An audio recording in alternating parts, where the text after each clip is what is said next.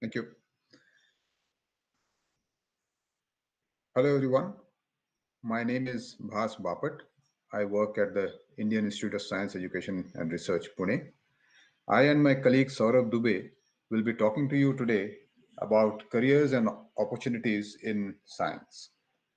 Uh, let me begin by first making a few disclaimers. I think it is important to uh, set some things right.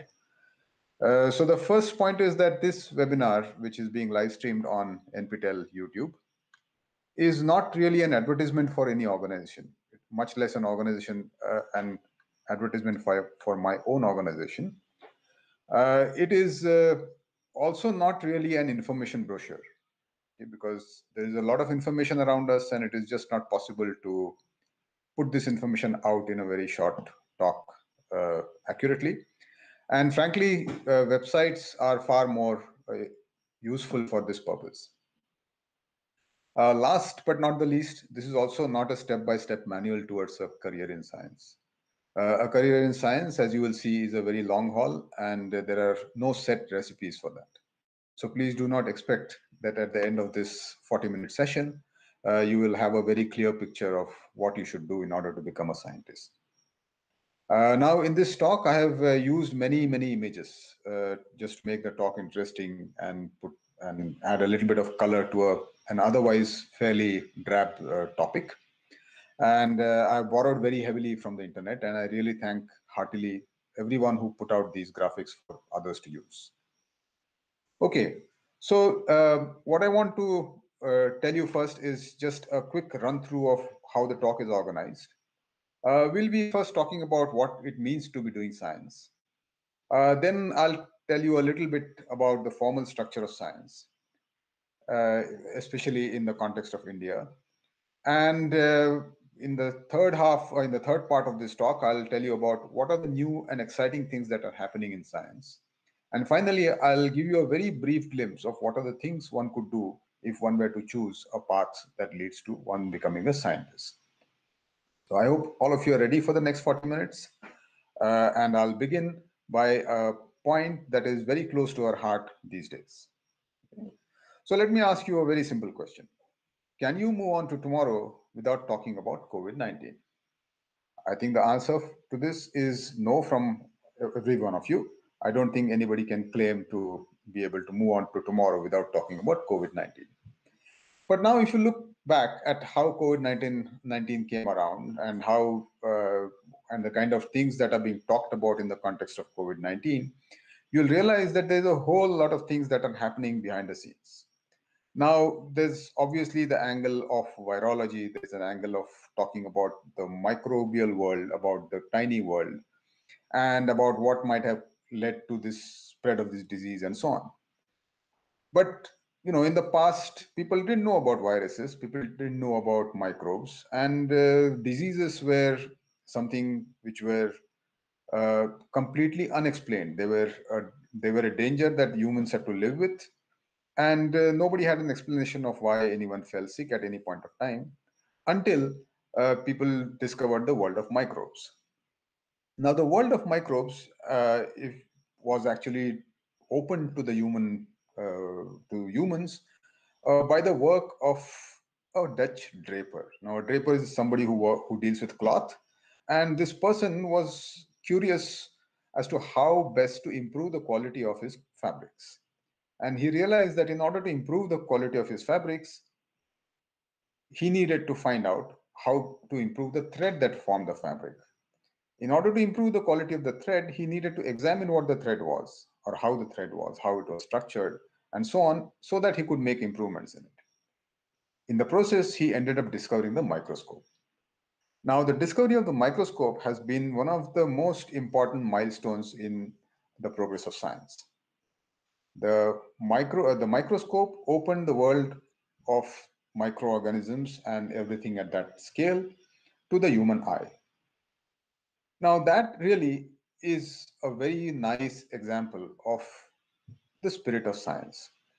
A draper, by no stretch of imagination today, would be considered a scientist. But this draper took it upon himself to get to the bottom of the matter and took a lot of effort to find out means to get to what he wanted to achieve. And in the process, he ended up discovering the microscope and opening the world of microbes to us. Another example, I'm sure none of you can imagine a world without engines and vehicles, right? So an internal combustion engine is very much a part of our lives. It powers almost all vehicles and all aeroplanes that use and ships that you see in the world today. Now, the history of the engine is very interesting.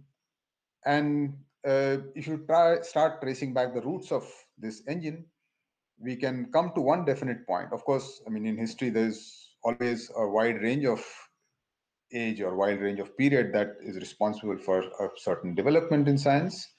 But in this case, we can come to a one very definite point in 1798 when a German cannon borer actually put out the rationale behind or the reasoning behind why what makes things hot. So he did a lot of experiments, which I'm not going to tell you about. But the bottom line or the conclusion from his experiments was that the apparently indefinite heat that can be generated by friction could only be explained if heat were due to motion of some kind. So remember, uh, please pay attention to these words. He says that it is due to motion of some kind, and motion of some kind is described by some kind of dynamics. If you look at what Newton and people before that uh, used to explain the motion of bodies, so heat was again seen as something resulting from some similar motion. And that led to the development of the whole field of thermodynamics. And the field of thermodynamics is the basis of all heat engines. So the engines that we see today could be, their history could be traced back to as far back as the 1700s or the 1800s.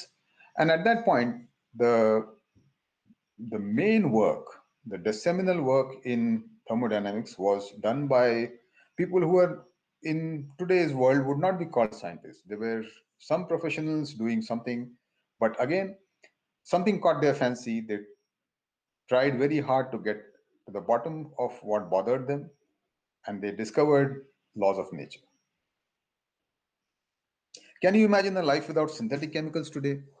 So the whole of our life, starting from the toothpaste that we use in the morning, to the clothes we wear, to the devices we use, and so on are all based on the use of chemicals of a very wide variety. All polymers are synthetic chemicals, all paints are synthetic chemicals, toothpaste is a synthetic chemical, soap is a synthetic chemical.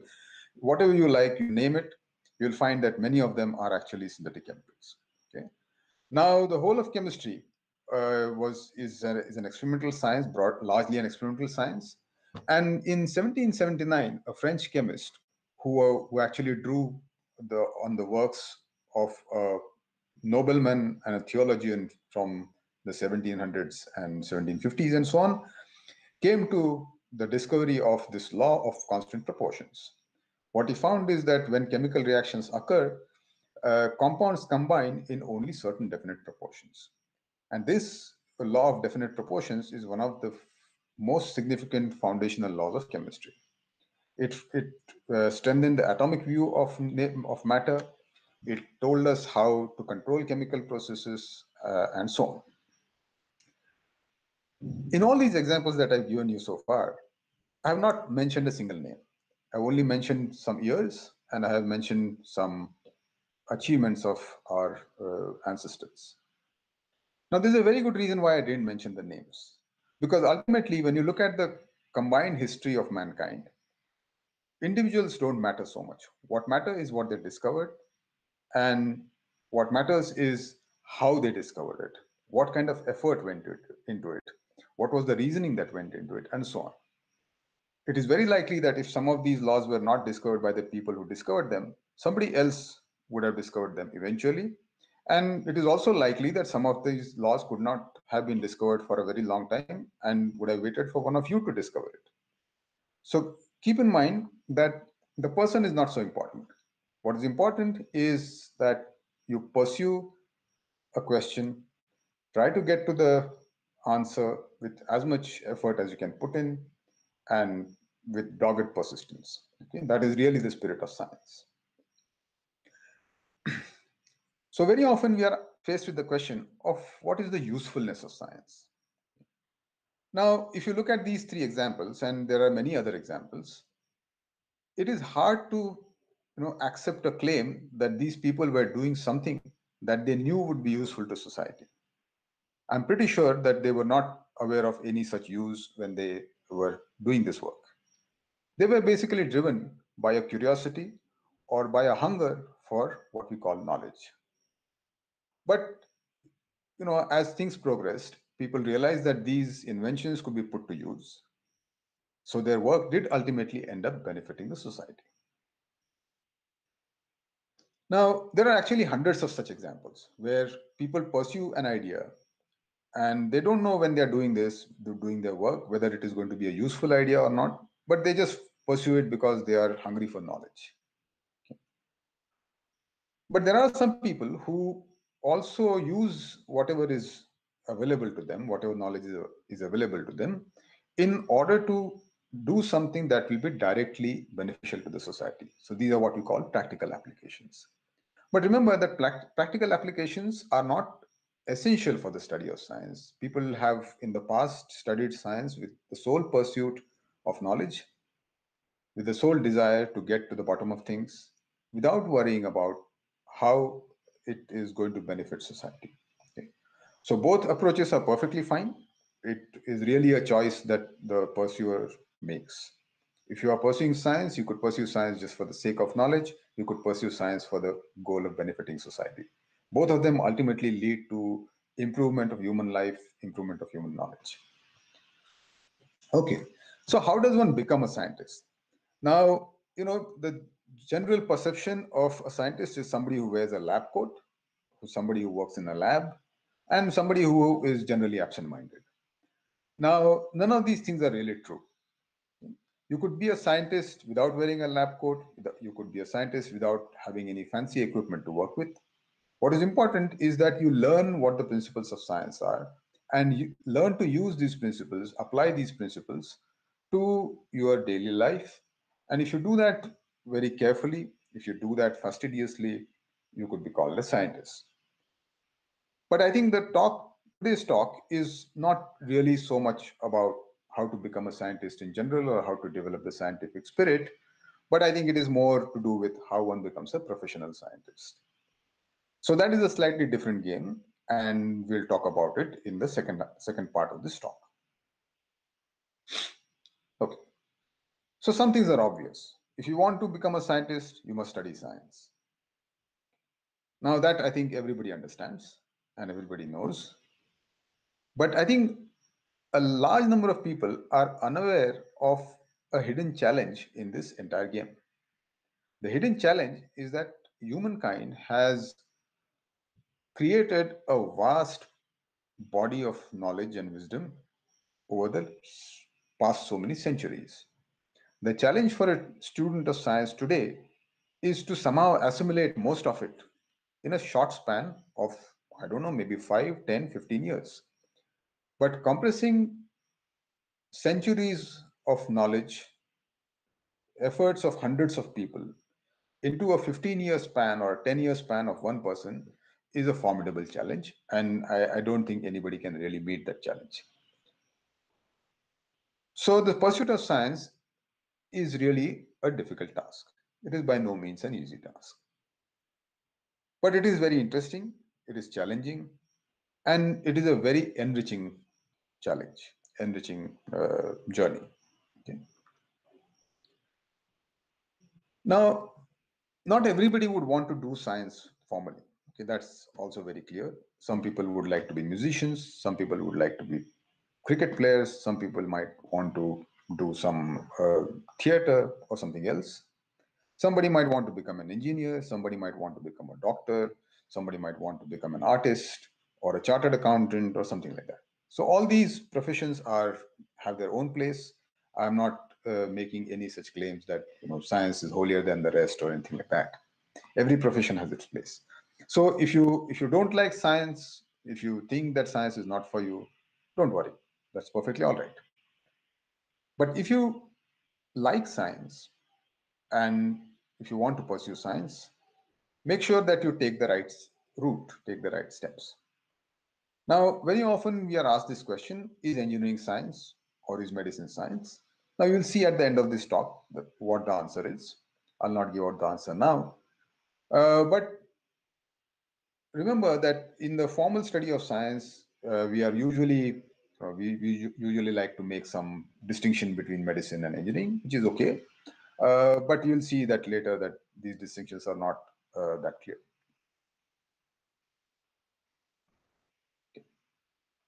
Now, the study of science is really a very long haul. So let's say you are in high school today and you will finish your class 12 very soon. And at that point, you'll be making a transition to one of these uh, one of these one of these disciplines. So let's say you have decided to choose do science. So the traditional route is that you go over to doing a BSc, which is a three years uh, degree course. Then you go on to doing a MSc, which is a two years degree course. And then if you're still interested in this and you want to pursue science as a career and you want to reach greater heights, you aim to do a PhD, which could take any, anything more than four years, typically five years or maybe six years. So this entire journey from high school to becoming what is called a professional scientist is a fairly long journey. And this journey, as you can see, is longer than most of the professions. And there's a very good reason for that, reason for which I, I have mentioned earlier. And like in all of the fields, uh, you know, to be able to, to be able to be at the top, you really have to be very, very good. And again, whether you are a doctor or an engineer or an artist or a, a chartered accountant or a, a badminton player or a cricket player or whatever, there can only be a very few people at the top. The top is not for everyone, and that's true of science also. Okay? And you know, this given that this journey is very long, if at some point of time, let's say at the end of BSc, you feel that no, this is not my cup of tea, uh, science is not for me, don't feel dejected because you know every for every skill there is a whole lot of people with varying skills. Let's say you want to look at people who can sing. Now, not everybody can be Lata Mangeshkar or Kishore Kumar. Some people have to be content with the fact that they cannot sing at all. You take any other thing like say a cricket player, not everybody can be a MS Dhoni or a Sachin Tendulkar. Only some people can be like that. The same is true of science. The same is true of any other field. So don't feel dejected. You will certainly be good at something else if you're not good at science. And if you discover this a little late in life, don't be too disheartened about it. You can always fight back. Okay. So having chosen this path, you will you will do a bachelor's degree for three years, a master's degree for two years, uh, or in recent times, there is this option of going in for a five-year-long integrated master's degree. Now, all universities in India offer a BSc degree, and these degrees are typically, um, these degree courses are typically taught in colleges. Uh, the master's degree, however, is usually taught at the university, not at the affiliated colleges. There are some universities which are except, which have an exception to this, but generally speaking, the master's degree is at the university. Now, there are some central universities, uh, such as the Hyderabad uh, University or the BHU, and some, some of these central universities offer integrated master's degrees. Uh, so do some of the IITs, or actually most of the IITs. Uh, and uh, when you sign up for a integrated degree, you are essentially committing five years of your time after your high school to pursuing a science degree. So, having made this choice, of pursuing a degree in science, what I would say is that a master's degree is something you should aim for. You should not aim for just a bachelor's degree. Although the bachelor's degrees of a three years duration and the master's degrees of a two, two years duration, the difference in the knowledge that you get, the experience that you gain, and the skill sets that you develop is very significantly different, very significantly higher in the case of the master's degree. So your goal should be to do a master's degree, not just a bachelor's degree. So I'll spend a minute or two about the IISER system to which I belong. Uh, and I'm specifically uh, talk, going to talk about this because this is a relatively new system in the Indian scenario. Uh, IISERs were set up about a decade ago. The oldest IISER is uh, about 14 years old. Uh, and there are seven IISERs now. The newest IISER is only three years old. Uh, IISERs were set up uh, with a very specific mandate. Unlike in the college university system, where the researchers are quite uh, you know, separated or compartmentalized from the students, in the IISER system, uh, research and teaching are combined. So the goal is to combine top class teaching and undergraduate research, uh, undergraduate teaching and top class research in under one roof. And because of this mandate and because of the environment uh, that uh, emerges from such a such a mandate, uh, students get a very significantly different experience compared to the university and college system. Uh, have uh, both undergraduate as well as uh, doctoral programs, and you could enter enter an IISER uh, at one of the three stages. You could either enter it soon after class 12 for the integrated bachelor and master's degree, which is a five-year degree. You could enter an IISER after a BSc and join up for what is called the integrated master's and PhD program, where you get the master's and PhD degrees in one single commitment, or typically of about six years long. Finally, you could also complete your master's degree in a university and go to an IISER for a PhD. So we get students from all three streams. Uh, the largest chunk, of course, is the undergraduates, but these two are also very significant uh, numbers of students at the IISERs. That's all I'm going to say about the. If you have questions, you can ask them later. Okay, now I told you that uh, doing a master's degree is something that you should aim for uh, when you uh, when you decide on a career in science. Now, what does a master's degree entail? What does it give you? So usually it will give you a very good body of knowledge in the chosen field. So you could be, uh, let's say you have decided to be a, a, physicist and you have chosen to do your master's in physics. So quite naturally, you would expect to gain a large body of uh, knowledge in physics. But in addition to this, you will learn a few things irrespective of the chosen discipline. First of all, you will develop what is called a scientific temperament, which means to ask the right questions, to not accept answers unless there's a proof for what is being claimed, uh, and to able to be able to design an experiment or a logical set of questions in order to verify a claim, and so on and so forth.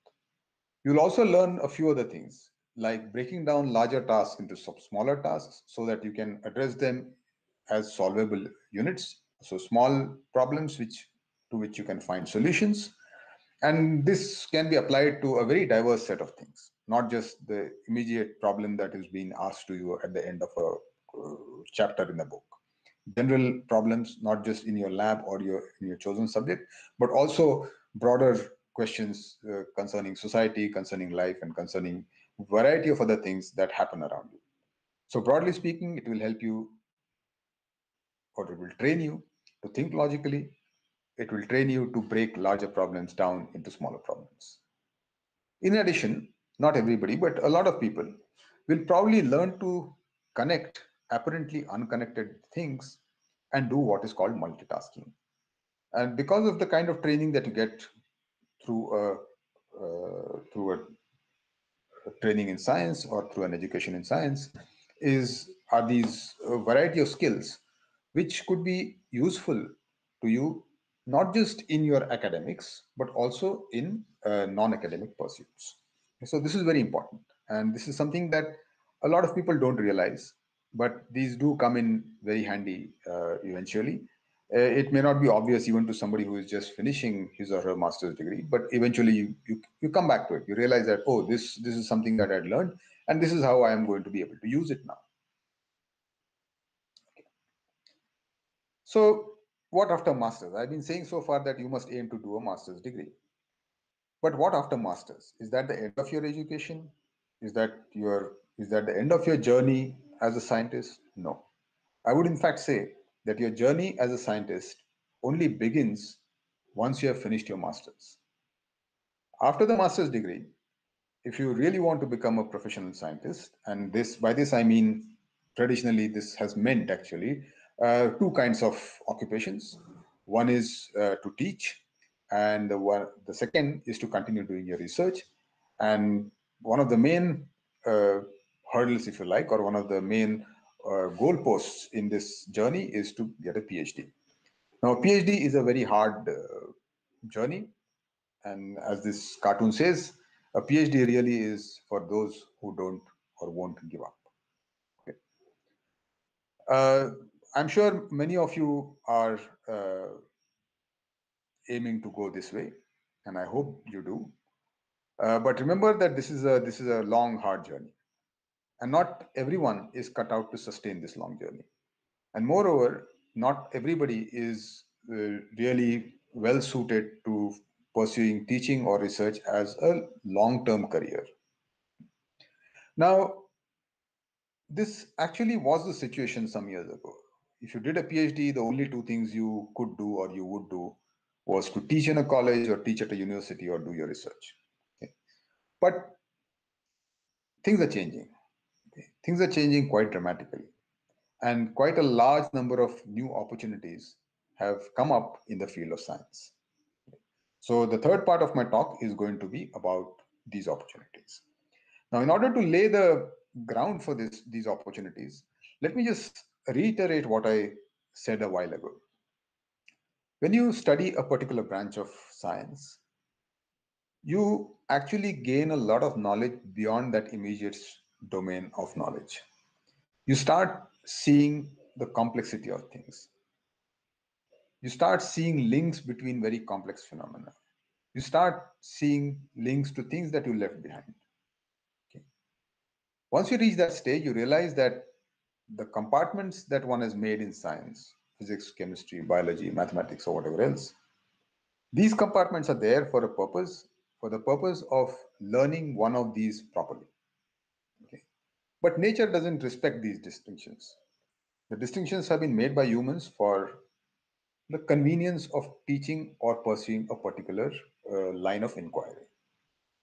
But ultimately, what happens is when you start looking at very complex phenomena, you realize that these distinctions actually are no longer uh, meaningful.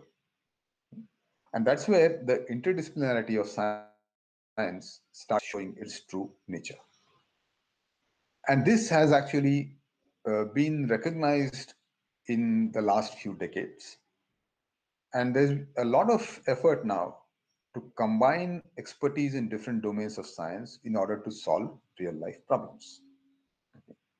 Again, let us take the example, the current hot topic of the COVID-19 pandemic. Now, if you start looking at the complexity of the situation we are faced with, I think you'll be easily convinced that it is not enough to simply know in great depth about viruses and physiology. If you know about viruses and if you know very, if you know physiology very well, uh, you will certainly be able to go a long way in the treatment of uh, COVID, COVID-19. But then you'll also realize that just these, just the knowledge of these two things is really woefully inadequate. You need to have a knowledge. When I say you, I, I'm not seeing one person in particular. I'm just talking about humanity in general. Okay. So we need to have a knowledge of chemistry because you need to find the right drugs you need to know the chemical processes that will lead to the right drugs that will prevent you from wasting time on wrong leads. You need to know what kind of chemicals will be useful for sanitization, for safe sanitization without harming other things, and so on. You need to know physics because you need to know how air flows, how these viruses might get transported, how does humidity affect the transport, and so on and so forth. Statistics. You need to know statistics extremely well because you're trying to make predictions about spread. You're trying to see whether your containment strategies are working. And in all these uh, attempts, you are looking at numbers. You're looking at a whole lot of numbers and trying to make sense out of the numbers. So if you want to make sense out of these lot of numbers that are coming through, you need to have a very good knowledge of how to make predictions based on uh, data. You also need to know about economics because uh, the COVID-19 has thrown economy completely out of gear. We need to look at economics, ask the question whether lockdowns are appropriate, what are the fallouts, what are the benefits, and so on and so forth. Now, all these seem like completely unrelated fields. If somebody were to tell you that chemistry, physics, statistics, and economics are linked to each other, you would probably laugh at that suggestion. But here is a real life scenario where there's a disease, there's a pandemic, and all these allied topics or allied disciplines or allied subjects, if you like, have to be brought in. The expertise in these fields has to be put together in order to fight the pandemic. Another example, all of us are very fond of our mobile phones. And in today's uh, scenario, the importance of the internet, the importance of being connected, the importance of uh, online meetings, importance of online teaching, and everything has shot up many, many fold. So building this better telecommunication network seems on the face of it like a purely an electronics engineering problem. But is it really purely an electronics engineering problem? Let us see. For a phone, you need a better battery because you want to talk for hours or stream videos for hours and so on. So you need better and better batteries as you're putting out more and more data. That's clearly a chemistry problem. You need better materials for your screen, for your keypad, for your casing, for the circuit boards and whatnot. So you need to find better and better materials. You of course need to know a lot of physics because all of the circuitry is based on solid state physics and electricity and magnetism, which I'm sure all of you are at least somewhat familiar with. These building blocks go a long way in developing circuits that form the heart of a, of a uh, whatever, of a computer, of a cell phone, or whatever else. In order to establish this communication network, you need these towers. These towers had to be placed at the right position. You cannot put out a million towers. You can probably put out only a thousand due to cost reasons. So you need to find the right place to put the towers. You have to take into account weather, you have to take into account the terrain, you have to take into account buildings that will block the path of these uh, electromagnetic radiations. You need, so you need to know what the geography of, the, of that area is. You need to know whether there are water bodies, whether there are rocks, whether there are trees, whether there are buildings or whatnot, in order to optimally place your towers. So what seemed like an electronics problem or an electronic engineering problem is in fact a problem that takes inputs or I mean, in order to be solved, it needs inputs from chemistry, from physics, from geology, and whatnot. So I think I have indirectly answered the question about whether medicine is science and whether engineering is science. Okay, the previous example would have convinced you that medicine is part science and science is part medicine. Likewise, uh, engineering, again, in this case, electronics engineering, is part engineering, part science, part physics, part chemistry. The point I'm trying to make is that the more and more complex our world gets, the more and more connections you start seeing between the traditional compartments of science, engineering, medicine, uh, and also the subcompartments of science, which are chemistry, physics, mathematics, biology, geology, whatever. Okay. So at the bottom of all this is a lot of are a lot of connections between these artificial compartments of you, the body of human knowledge. Okay. And these links are gradually being seen for what they are. Okay. In the past, when people were talking about physics, they didn't talk about chemistry. When they're talking about chemistry, they were talking about biology and so on. Underlying all this, of course, is a lot of mathematics. It is impossible to think of any process today which does not require mathematics, whether it be the share market or whether it is the spread of a disease. Okay. So, where are we headed now? I've, I've told you about uh, the interdisciplinarity of science, which is a new emerging uh, theme. There's one more theme that is another very strong theme that is coming up. Traditionally, experiments have been the backbone of science. They have been the backbone of all developments in science. And theory has been very important in certain branches, certainly in physics, where it has really has a completely different and a separate and somewhat elevated standing. But the new paradigm that is emerging is that of modeling, simulation, and machine learning, which is entirely a fallout of the improvement in uh, our ability to do computations. And this has affected all branches of science. So I'm sure you have heard about the discovery of the gravity waves. Now, gravity waves were discovered very recently, three years ago, four years ago. Uh, but their prediction was made a long time ago. The fact that a gravity wave could or must exist or must be formed was predicted long, long ago.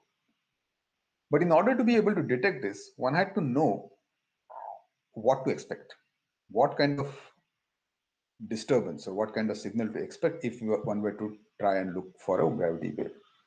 And this was not easy, or this was not easy to describe by merely looking at equations. A lot of simulations, which means computer-based numerical uh, numerical analysis, had to be done, which was, of course, based on the laws of gravitation, on the based on the laws of general theory of relativity, and so on. But the theory could only take you so far. Numerical simulations uh, were very important in predicting how the coalescence of two black holes would lead to gravity waves. These predictions were made based on numerical simulations, and what was predicted was actually very close to what was detected in 2015. Without these numerical simulations, it would have been impossible to predict what kind of gravity wave signals to expect. Another example, which keeps, uh, you know, which we keep coming across uh, almost every day, is uh, from uh, predictions about weather. If you would have if you have been paying close attention to how predictions about the monsoon have been changing in the last few years you'll realize that in the last four or five years or maybe slightly more than that predictions about the monsoon have been fairly accurate. And this was not the case 15 or 20 years ago the reason for this is that we now have vast amounts of data and vast amounts of computing power which are which together is able to model the weather system in the Indian subcontinent, specifically the uh, northwestern, um, sorry, the southwestern uh, Indian monsoon, uh, fairly accurately and uh, predict make very reasonable, very accurate pred predictions. So this is really based on a very very complex set of inputs, which we, which I think a common man is simply unable to fathom. In order to get a picture like the one I have shown you on the screen, you need to be able to send out a satellite, a satellite that will hover over your region, take pictures, send them down. Uh, you make sense out of it and put out these pretty pictures. So you need somebody who will build a rocket. You'll need somebody who will build the satellite. You'll need somebody who will build the instruments that go on a satellite. Make sure that they are launched properly. Make sure that they work synchronously, work perfectly in very extreme environments that don't exist on the surface of the earth then you need somebody who will download the data, make sense out of it, and then put out these very pretty maps. Okay. But in addition to this, you also need people on the ground who will collect data, who will feed the data based on last year's monsoon or whatever, collect vast quantities of data, put it back into a, a set of computers that will process it, start looking for patterns and things like that. So all this is very computational intensive, but it also combines a lot of skills it puts together a very large number of very large kinds of skills. Okay, so they're really very complex inputs. These are things that are happening to science in the last decade or so. So the nature of science is actually changing. In the past, we had people who sort of were sitting in silos. They were experts in a branch of science like biology or chemistry or physics, who were not, I mean, who knew of course, knew some maps and knew some computer programming and things like that, but they were not really savvy in using computer computations, computational aspects. They were not savvy in statistics. There were statisticians who knew how to deal with real life data and predict trends, but they really didn't have enough data to work on based on real science. I mean, real science meaning science that is that was coming from uh, experiments being done by experts in that field and so on. Then you had mathematicians who were experts in pure maths and their problems, like many people say, had no real life connections. But this is not true. They have connections. It is just that these connections were, are not discovered very easily. Then there is this bunch of people who are computer experts, algorithm experts. They know how to solve certain problems. And this was like a happy scenario until about, say, 10 years or 20 years ago. What happened in the last 20 years or so is a very dramatic difference. What is emerging is this field of data science, which takes in inputs from all these domains. And the new scientist that I'm talking about is somebody who is going to be able to make a link between these. make a link between the traditional domains of science and the emerging ideas from computer science, emerging ideas from statistics, possibly from mathematics, and putting them together and creating new fields where you can use statistics to say identify patterns, make predictions based on inputs which are purely traditionally science. Use this data, put in algorithms to see whether you can discover something dramatic. Okay, so all these things are happening. Now, because these things are happening in a, in a big way, uh, we are really able to do a whole lot of things that were not possible earlier. Okay, so just, a minute. So if you look at any domain in science now today, let's say neuroscience, cognitive sciences, particle physics, uh, weather, astrophysical modeling, uh, spread of disease, uh, spread of say diabetes or response to drugs for diabetes or general population trends related to economics, finance sector, anything that you name, it has it is of late using inputs from computer science, it is using principles of science, especially physics, uh, in order to model very complex natural systems or very complex man-made systems. Okay, so the the number of such possibilities of using knowledge in science to other fields has improved very many-fold. Okay, so in order, in addition to the research topics that I mentioned so far, you would have realized that while I was talking about these research topics, there are many peripheral areas where you need expertise in science in order to do well. Okay, so these may not really count as frontline research, but you need people trained in that domain. Uh, these might be non-academic pursuits. They may be in the industry. They may be in the banking sector. They may be in uh, in this in social studies, in medicine, and so on, which require people who are trained in science and who can make uh, very well trained judgments. Okay. So the the point I made just a while ago about large volumes of data. Okay. Who collects this data? Can you leave this data collection to an untrained person? No, you can't because you need to be able to sure that the data quality is good, the data is reliable, and so on. How does one know whether the data is reliable? Unless you are able to judge the background science behind what has created that data, you will not be able to make a proper judgment. So the need for well-trained scientists is increasing day by day in a vast variety of fields. I'm not saying that they are they are in demand in great numbers, but they are in demand in a vast variety of fields besides, of course, academia, which we have talked about. So what are these areas? Okay, so we'll quickly wrap up. We are nearly at the end of our uh, session. Uh, I'll just wrap up by saying what are the other areas that are that are now looking at people who are trained in science. So in physics, you of course, because of the nature of the subject, both in physics and chemistry, you learn to use sophisticated instruments. If that is what you like, you could use your knowledge of physics to pursue a career in that kind of a field. You can develop new instruments. Again, drawing on your training in physics, your training in chemistry, or some other area, you could develop better and better instruments that use all the modern developments. There's this whole field of data analytics where you use data from different fields, you acquire data from different fields, use your knowledge in physics or mathematics to model these processes, make predictions, make wise business decisions for somebody, okay, for a company, let's say. Chemistry, of course, there is the traditional pharmaceuticals, petrochemicals. Forensics is a new upcoming branch. And virtually all consumer products. Like I said at the beginning, starting your day with a toothpaste or a soap to virtually every device that you use requires chemical or synthetic chemicals. Uh, you There's a vast market uh, for careers out there.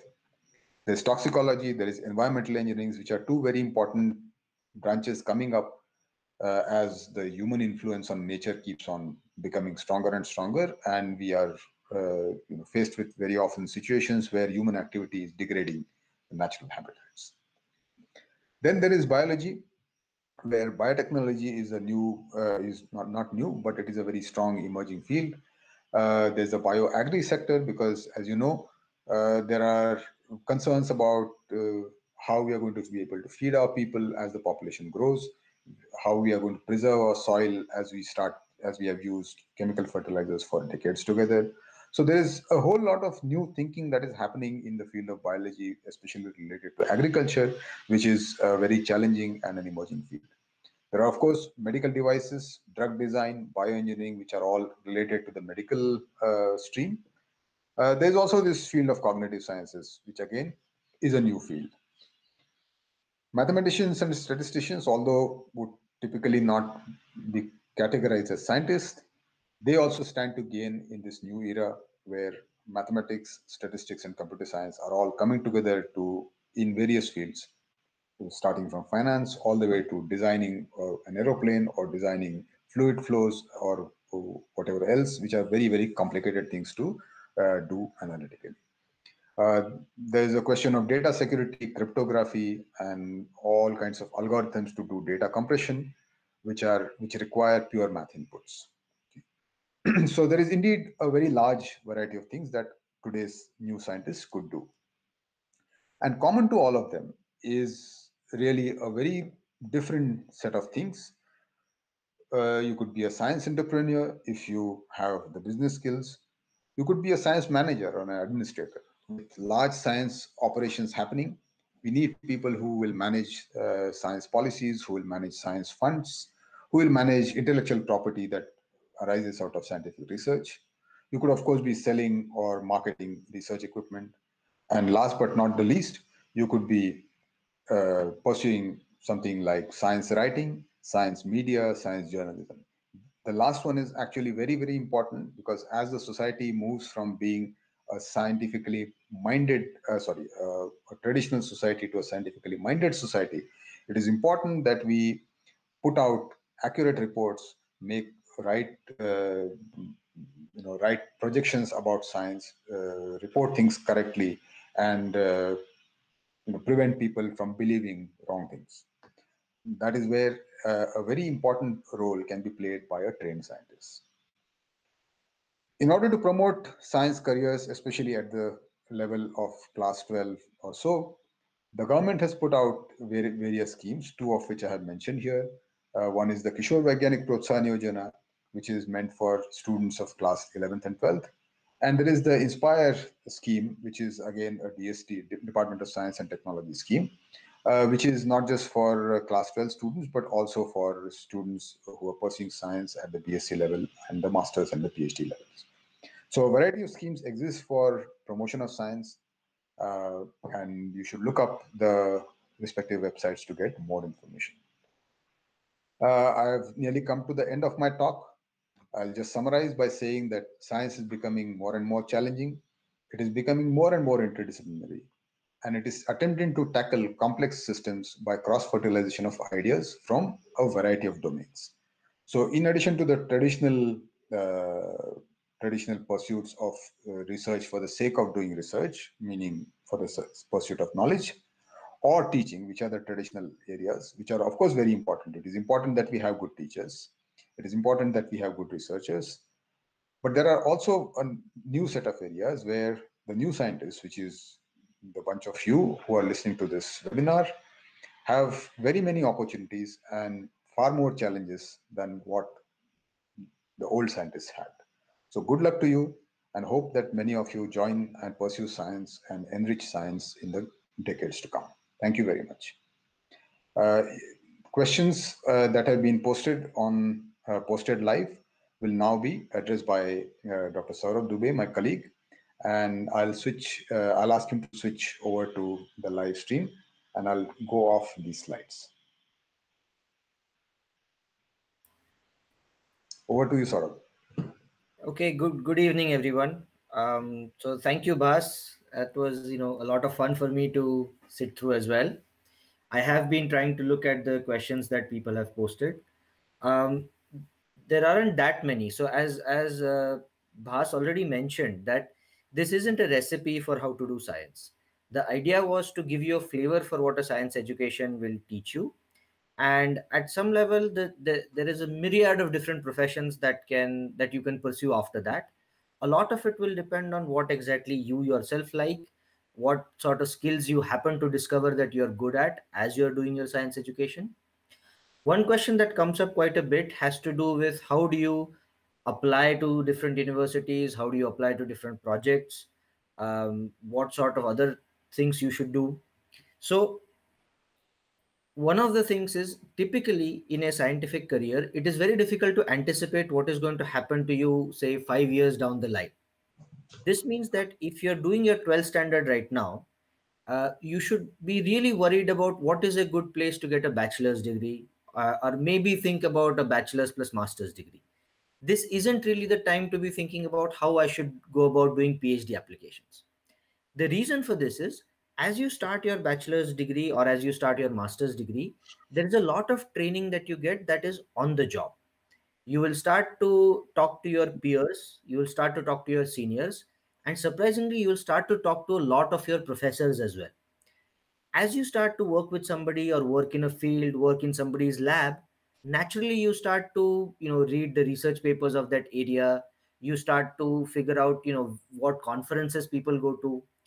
During this time you yourself learn that okay what are the leading places around the world where research is being done? Who are the people? No matter what institute you're at there are always seminars happening. So there will be visitors from india from abroad who are visiting there. You will get a chance to talk to them so what happens is during your degree you will tend to mature and you will know what is the right thing to look for in different different universities. So if you're going to apply for a project what should you look for? Should you how should you decide that is this a vibrant place? Uh, is this place doing a lot of cutting edge science? Does this place have an instrument that i would like to learn how to use? And so these things are stuff that you cannot actually predict way beforehand. This happens naturally as you you know enter your stream and do things there are a couple of more questions. Um, maybe this is a question that i would like bhas to sort of uh, uh, take. So bhas for example a question is asked is what is the difference between an ms and an msc degree? Okay. So uh, in the Indian system, the traditionally the master's degree has been an MSc degree, Master of Science. The US system has a similar degree, which is called MS, but there's a slight difference in that the US system expects you to do uh, 16 years of schooling or what they call schooling, what we would call college education, a total of 16 years before you can enter the master's uh, degree program. The MS degrees that the IISERs offer, for instance, are uh, have a slightly different way of getting to that stage because of the uh, because the mandate of the IISERs is very different and they have a different structure of their courses compared to the usual university. So in order to distinguish between the master's degree that the IISERs give and what is traditionally given by the universities, uh, the distinction is made as the IISERs degree are called IISER degrees are called MS, whereas the university degrees are called MSc. But in terms of the number of years it takes after the after class 12, the duration is the same in uh, the IISERs as well as the uh, universities. Uh, but the emphasis is different, the structure of the courses is different, and so on. Thank you, Bhas. So we also have a, a bunch of questions that have that are kind of targeted. So, for example, mm -hmm. in the chat box, there are questions about um, how can you know if you if you do an MSc in astronomy, what happens after that? we have questions about what is the scope for doing say astrobiology um, these things are not there are no specific answers to this. So for example if you do an msc in astronomy there are various things that you could actually end up doing as you're doing your uh, msc for example you could perhaps work with somebody in trying to uh, build an instrument that is going to go on a satellite. This means that you could be designing the electronics for it. Or you could be somebody who's say going to write down the software for how a telescope tracks stars in the sky right? So maybe you will write some some program for this. Because of this during what you do in your msc the skills are quite different. The traditional route is always available to you. You do an msc in astronomy then do a phd in astronomy. But suppose you don't want to do that. The skills that you have learned in writing this software for large instruments you could put to use say in a you know automation factory say a car factory where you want to automate how vehicles are produced should i first produce all red vehicles or should i produce red and yellow and red and yellow? Should i make all automatic vehicles first or do gears and then automatic and so on? So this is the sort of training that you get during an msc and then how you decide to apply it really depends on what you want to pursue at the point when you finish your msc yeah bhas yeah. So i, I would like to add something to what Sourabh just said. I made a point uh, sometime during the talk that you learn to see connections so here is an example where you will start seeing connections i'll just give you a very simple example some of you might know of what a bandwidth means maybe the term bandwidth has come up very frequently in the recent times. People don't have enough bandwidth. People don't have enough bandwidth. What they really mean is that not so much data can be streamed from one through one connection because a lot of connections are using the same uh, same route to lead to whatever you are trying to download. Let's say the YouTube uh, video that you are currently seeing. Now this bandwidth is such a funny thing. You the same thing appears in different guises in different fields. Okay. For a musician, a bandwidth means something else but the underlying principle is still, still the same. The term bandwidth uh, in an oscilloscope, which is an instrument for looking at electronic devices, is something else. But you, once you're trained as a certain kind of scientist, you start seeing connections which others won't. The example that Sourabh gave is about software being used for something else. But now, if that software is used like a dumb box, you will not be able to use this software for purposes that it was not originally intended for. But if you are smart and if you're able to see the connections, you will be able to adapt this software for a lot of other things. So one example is about is the way face recognition is done. Face recognition is about discovering patterns, discovering networks, and so on. All these come from a very different branch of, say, computer science. They come from uh, a branch of mathematics, but they are ultimately used for figuring out whether the person using the phone is the correct person or not. Over to you, sir. Okay, so so in the in the spreadsheet there is one question that I think both of us should should you know very very unequivocally sort of answer. The question asks, which science stream is suitable for girls? Okay. So, so the answer is every single one. Surely. Every single science stream is suitable for girls. There is absolutely nothing that you can't put your head to and do. So we we absolutely need to be utilizing all 100% of humanity there's no no sense in uh, the asymmetry that we see i understand that sometimes challenges may be different in trying to get to the same place and of course this is true but that is the idea we want to face these challenges and fix it okay sure and there's no there's absolutely no doubt about this now he, here is a question that that is uh, also very interesting that both of us would like to say can a teacher along with their teaching be a good researcher Yeah. so, so maybe I'll let Bhas start off on this. Sure. So, uh, I think somewhere somewhere in my talk I mentioned that teaching and research are two traditional streams, uh, and these uh, used to be considered quite separate. But that's no longer the case today because of the variety of things that are possible today. A teacher can also be a researcher. Now, there are some places, uh, especially the universities and places like IISERs, where teaching and research are not separable they both are integral part of a faculty member's job. Okay. But of course, I understand that this question may not be necessarily meant for those who are aiming to become faculty members at a university. You might perhaps be asking this question in the context of a school science teacher or a college science teacher. Now, again, there, because of the way you are able to communicate much better in today's age compared to, say, 10 years ago, and because of the larger number of opportunities that are avail available, uh, it is certainly possible to do a small amount of research while you're doing your teaching. Please don't think of these as two compartmentalized pursuits. Okay? They are related because you're using the knowledge in one uh, Uh, to the benefit of the other and vice versa.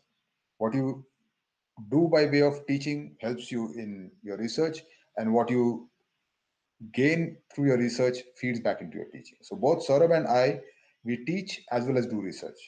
And I'm sure Sourabh will agree with me in, in saying that when we teach in the class, there are occasions where you realize that, oh, this is what I was doing when I was doing designing a certain experiment or when I was analyzing a certain bit of data. And that stays in your head and that shows up in your teaching by way of an example which students appreciate very heartily. So the connections are uh, are there. It is for you to discover these connections and uh, be assured that these connections are not hard to come by. It is just that you have to put your mind to it. Opportunities are there, uh, connections are there. You just have to discover them. Yeah, I, I agree completely. Okay, so uh, there is a class of questions that talks about. Um, I mean, so, so there are specifics about doing either computer science or computational biology and so on. Mm-hmm. Uh, broadly, the question is how does one equip oneself to become a good researcher?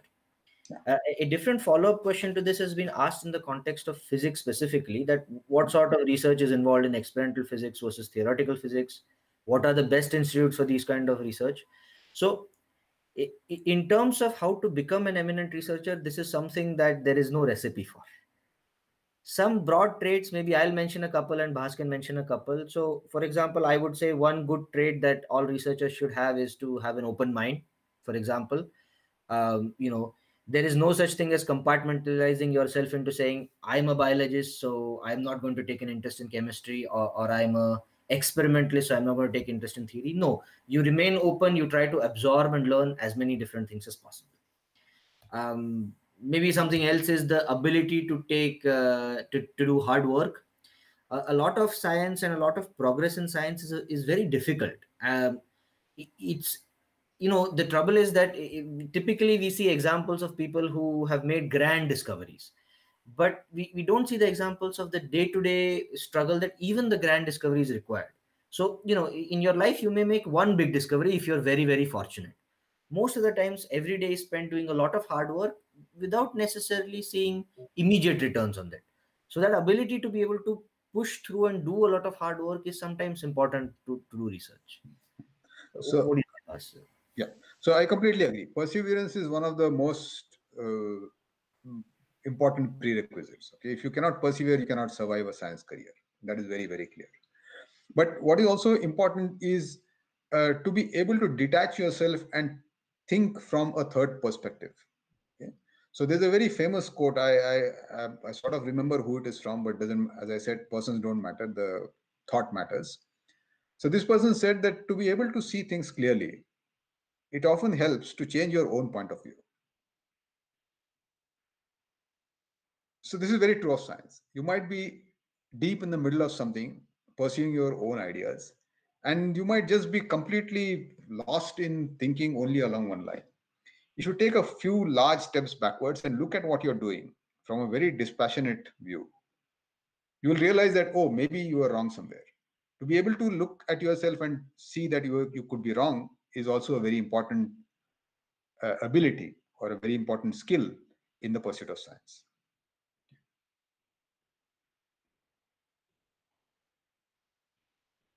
okay so so then there's also the question of what makes uh, good institutes for say pursuing science or something mm-hmm. see uh, there is no such thing as an institute is better than another institute because a lot of science is not done at the institutional level but it is done by individuals and individual groups.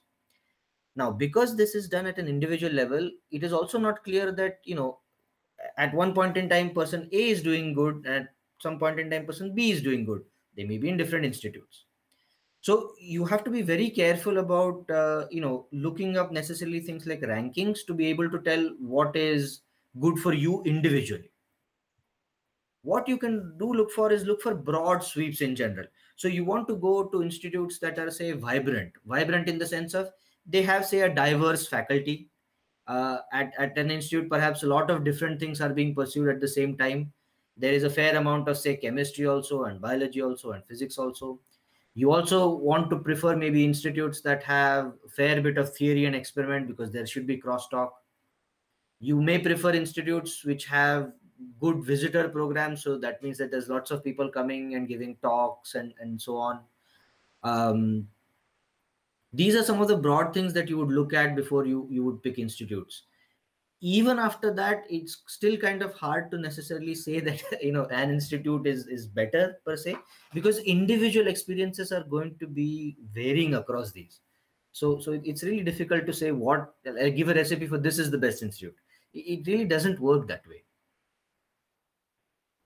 okay um, then there are some other questions about uh, uh, so this question is particularly about what should a second year bsc student do who wants to pursue physics but maybe Bhas, I would like to answer it differently. Like, what are the sort of things that say 12 standard people should do? What are the kind of things maybe end of BSc people should do, and so on. So, what do you say about? Uh, let, us start with the high end. Maybe let's start with what should a MSc level student do. Right. So uh, I think a MSc level student first needs to ask himself or herself the question: Am I ready for a long haul? That's the first thing, because it is a very serious commitment on time. Uh, uh, I'm talking of a PhD uh, degree. That is a very serious commitment on time, and uh, it uh, essentially means that you will be pursuing one thing doggedly for the next five six years, to the exclusion of practically everything else.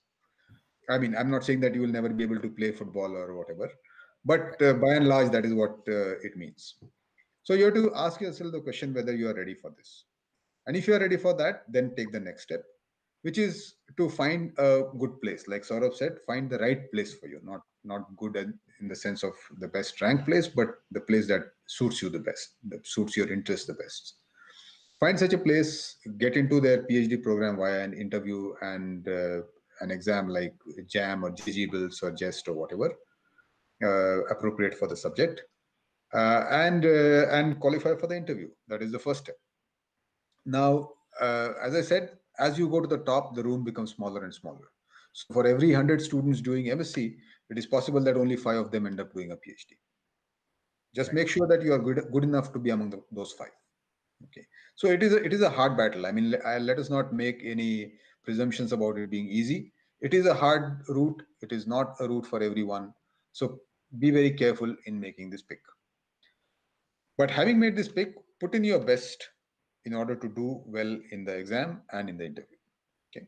And I think once you cross that barrier and once you enter a place which is of your own choosing and you're driven enough to be doing this, then it is really a matter of how disciplined you are in terms of pursuing your goal it is then no longer a question of being able to appear for an exam and so on. You are, it's it's largely largely your own doing, whatever you do, whether you fail or succeed is mostly your doing. You have to be determined enough to last through those hard five years. Okay. Okay. Uh, so at the at the BSc level, I think the answer is is slightly easier. It's kind of like after tenth, you have to decide whether you want to do science, arts, or commerce in the same way at the end of the bsc you, you, should have a fairly good idea of if you're interested in science enough to make a career out of it in which case the obvious next step for you is to do an msc um, if you at the end of your bsc have a feeling that no I, I studied science i've learned a lot of things but i i need not want to make a career at it. This is the, the the time then to start to a first make a list of the skills that you already have and to then enroll in things that are going to give you skills that will make you employable. So these can be very, very varied depending on what your interests are at the end of a BSc. If you like, for example, media or writing, you can enter into science writing or even other sort of journalism. If you like uh, computation, for example, you can do dedicated computer science courses or data science courses to, to get employability there. So the, the basic thing is at the end of a BSc, you should choose whether you, you want to pursue a career in science in which case you should be worried about how you will get into a good MSc program and what are the steps you can take to ensure that you get into a good program or the other side. Now, what should you do at the end of a 12th standard pass? What, what is the right steps to take? So at the end of the 12th standard, you are actually faced with a real question. Yeah. What are you going to do in life? That's what everybody wants to ask you. And uh, very often you're not prepared to answer this question and which is which is okay because you're only 17 or 18 years old. And uh, you may not really know what you want to do which is fine. Uh, but if you if you want to do science which i think is what most of the audience here uh, or not most but a large fraction of the audience is probably hoping to do uh, you should make sure that you go to a, a serious college okay or a place like an IISER to do your uh, bachelor's and master's. Uh, because uh, unfortunately, it is the case that a large number of our BSc students are doing that because they don't know what else to do. That is really the situation in, in many, many places.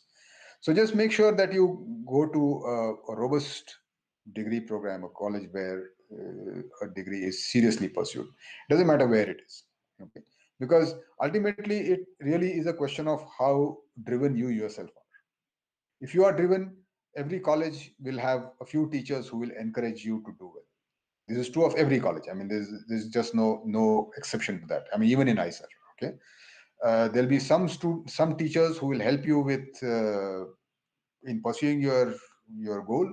They'll help you build your abilities in such a manner as to take the next challenge which is if you want to do a phd it will be like msc phd and so on.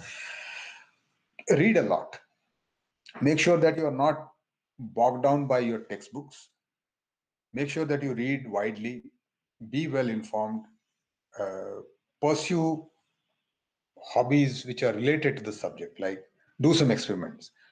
Try to take part in some science fairs. Try to take part in competitions. Yes. So that you uh, you remain abreast of what are the what things are happening around you okay? Don't get cooped up in a corner pursuing just one degree reading one book. That's that's not the goal. The goal should be to read as widely as possible uh, do as many related things as you can. And it doesn't matter whether you are in a small town or a, or a city. These things are still valid okay? And if you if you do that and come through with it with your enthusiasm intact enthusiasm growing i'm sure you can pursue a career in science. For those who don't want to do science of course there are many other opportunities. You could do arts commerce you could do um, engineering you could do management you could just do computer programming and grow in that direction in that field.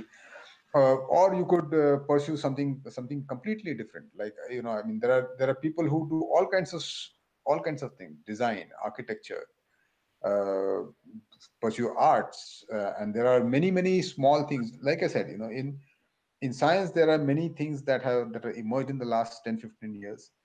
In the last 10 15 years there are changes in the other fields also. So there are many opportunities which are not as well uh, say recognized or documented as the standard streams of engineering medicine and science which are there.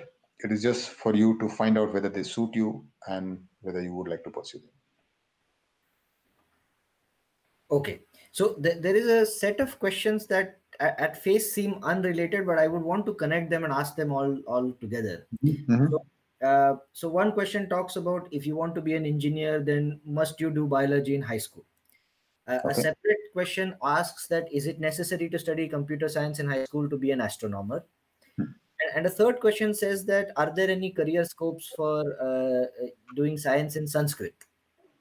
Now, uh, I'll let Bhas also answer this, but I, I'll say this that you have to think the other way around. So, in some sense, think of it as if you learn something, then you will be able to apply it. So rather than ask the question that is there a scope for this, the question is opposite. If you happen to have a skill, so if there happens to be a person who knows biology and mechanical engineering, then this person can design prosthetics. On the other hand, if there happens to be a person who knows biology and I don't know, elect chemical engineering, then such a person may be able to do drug design or something. If a person knows science in sanskrit then i'm sure you could do like you know some sort of a outreach show or you could try to figure out if as they say if sanskrit really is the best language to be doing coding in and so on. So depending on what your skills are you will figure out how to apply them. So you- it doesn't really make sense to ask should i do this to do that it's rather whatever skills you accrue through your life you will then use all of those skills to try to answer some question so I, I I agree with what Sourabh said, but I would also like to add one more point to this.